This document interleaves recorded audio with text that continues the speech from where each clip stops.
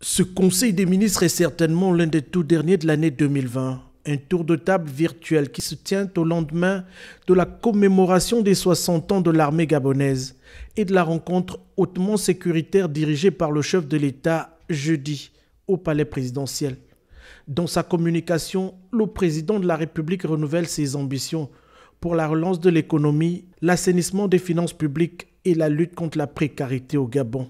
Des objectifs prioritaire pour le gouvernement du Premier ministre Rose Christiane Osouka de retour d'une mission en Côte d'Ivoire et en Guinée, où elle a conduit la délégation gabonaise à l'investiture des présidents ivoiriens et guinéens.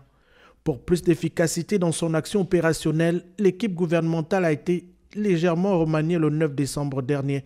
Une mutation motivée par la nécessité d'un accompagnement social bénéfique à l'ensemble des populations en cette période de crise sanitaire.